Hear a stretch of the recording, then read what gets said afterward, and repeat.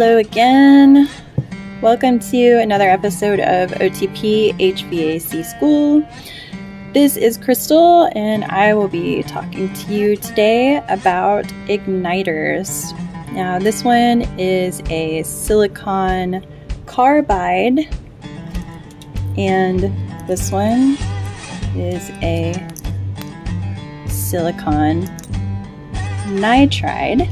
And there's a huge difference between the two, and a reason why a lot of OEM igniters are switching over to the nitride.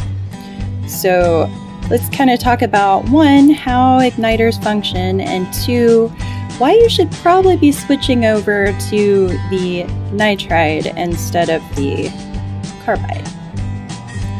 So, the differences between these two is not just the texture but the material that it's made out of is actually more fragile than the nitride. And you can really see the difference when you put them alongside each other. Try my best not to break these things because it's very fragile. Uh, this one, not so much. They're pretty darn sturdy. You could tap them on something and they wouldn't break very easily at all. Um, the number one reason why these tend to come in uh, during the season is people mistake them for uh, their flame sensors. They pull them out, tap them against something, and psh, they shatter.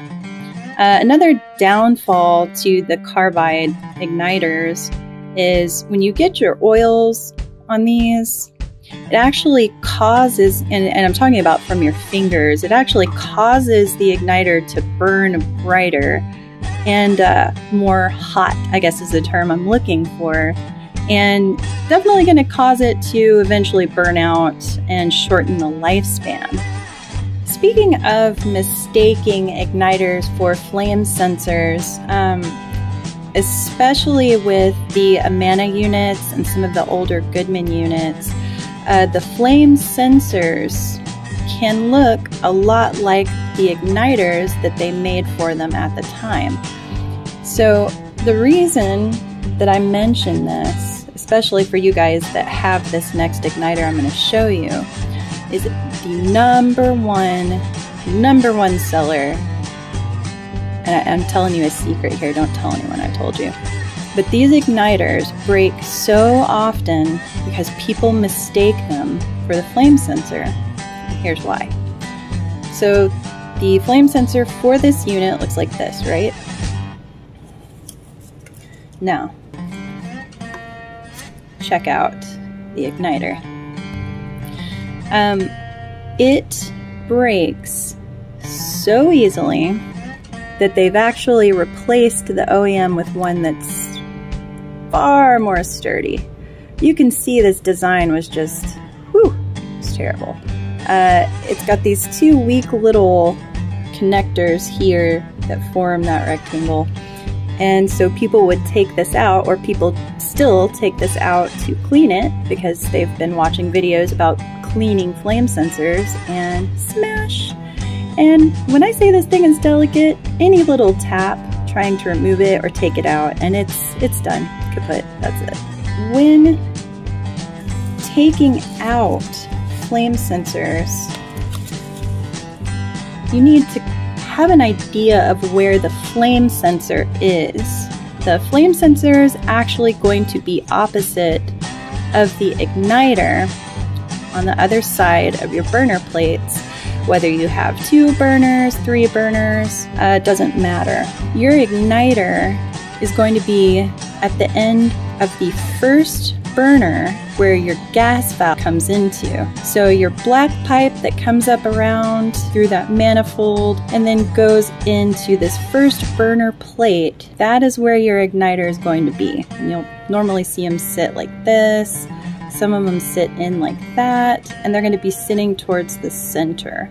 So your igniter is always going to be in that spot. It needs to be in that spot to create the spark that lights your burner.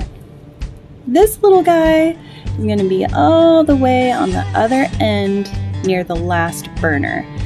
And the reason for that is it needs to go all the way across all the burners to ensure that the furnace is functioning correctly and it senses that flame. And uh, we'll talk more about flame sensors later because these are actually really neat little guys. The whole process behind it is neat.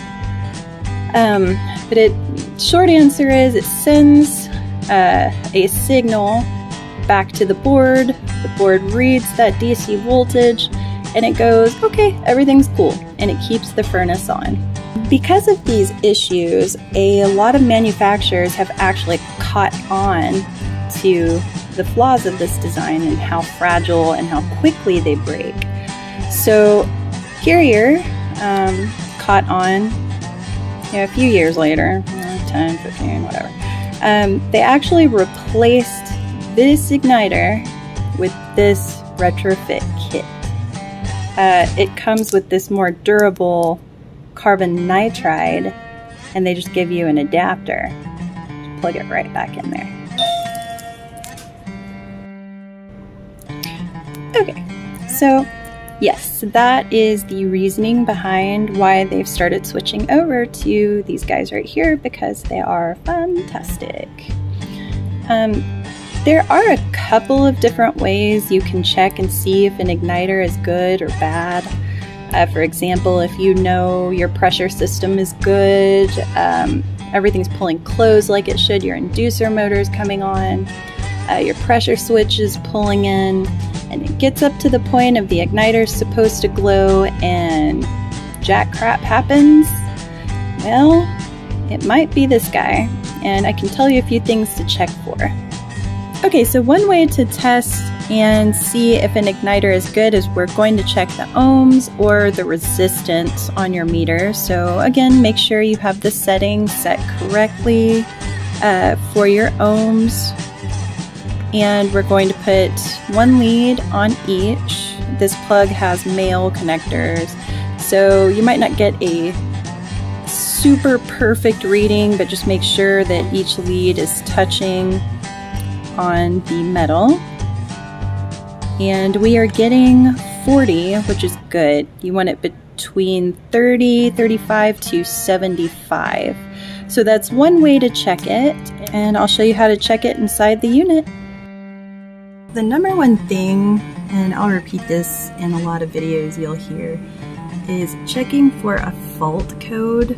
Um, so before we even jump to the igniter possibly being the issue, um, this one has a sight glass, but uh, it'll have a fault code somewhere on the panel of the unit.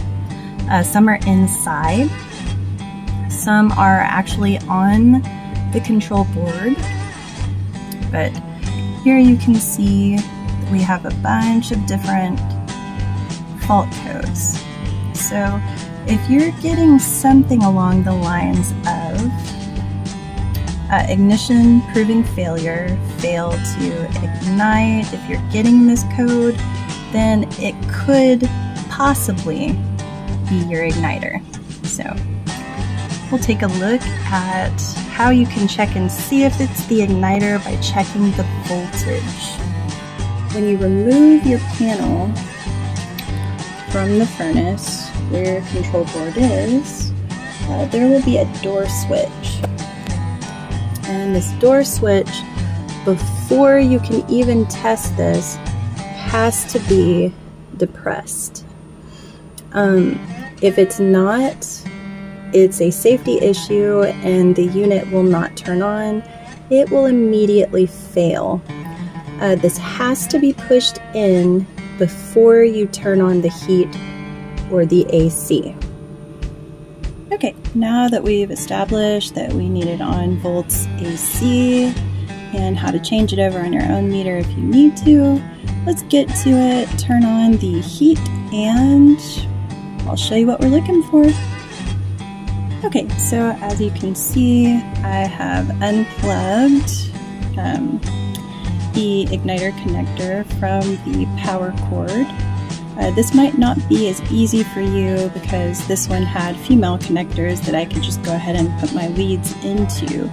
As you can see, we still have it 2 volts AC, and uh, we're going to go ahead and turn it on, go through the cycle, and make sure that we have 120 volts. Uh, this line is going to be your neutral, and this line is going to be your 120.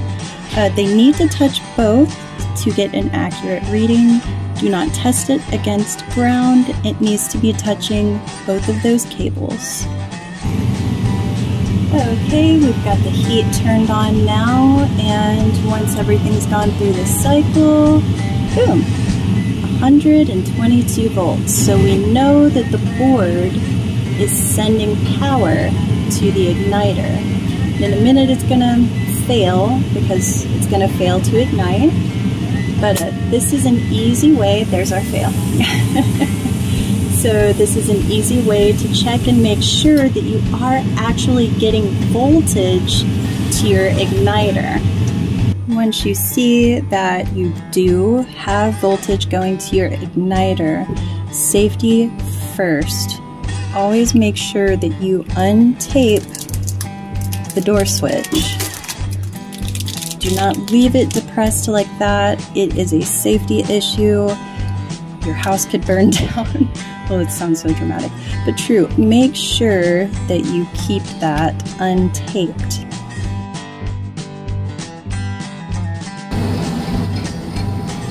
So I was joking with my colleagues here. I was like, should watch and end up breaking this uh, while showing you guys how to do it. It should be hilarious. And I also mentioned that uh, posted if I did. So um, use extreme caution when removing these sorts of things. For obvious reasons, you're near electrical, don't be stupid and leave your stuff on. Now that we've got the screw here, it's probably good to have a magnetic hex driver, hex driver, uh, so it doesn't fall off and get anywhere you don't want it to get. So it's gonna move. Um, keep both hands here. We're going to very delicately move this down. And there's so many spots that this thing can bump on.